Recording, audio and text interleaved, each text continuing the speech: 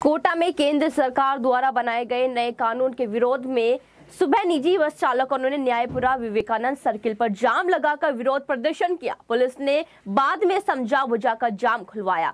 आपको बता दें कि केंद्र सरकार ने एक्सीडेंट होने पर भागने पर चालक को 10 साल की सजा व 10 लाख के जुर्माने का प्रावधान किया है। इसके चलते सुबह न्यायपुरा सर्किल पर जाम लगाकर निजी बस चालकों ने प्रदर्शन किया। पुलिस ने समझा बुझाकर जाम को खुलवाया। करीब एक घंटे तक यहाँ जाम के हालात बने रहे। उनका विरोध है जिसका हम विरोध कर रहे हैं हम ये कानून नहीं मानेंगे। किस तरह का कानून है? ये कानून है कि ड्राइवर से एक्सीडेंट होता है तो उसे दस साल की सजा और सात लाख देंगे हम? हम पाँच सौ रुपए रोज मजदूरी करने वाले हैं, हम कहाँ से देंगे? कौन से कानून है? हम पाँच सौ रुपए रोज कमाने वाले हैं, सात लाख कहाँ से देंगे। हम दस साल की सजा के लिए चल जाएँगे हमारे घर वालों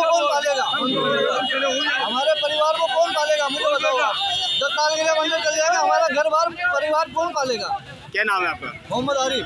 जनता दरबार न्यूज़ में फ़िलहाल के लिए इतना ही। जल्द मिलते हैं और खबरों के साथ अब तक के लिए देखते रहिए जनता दरबार न्यूज़।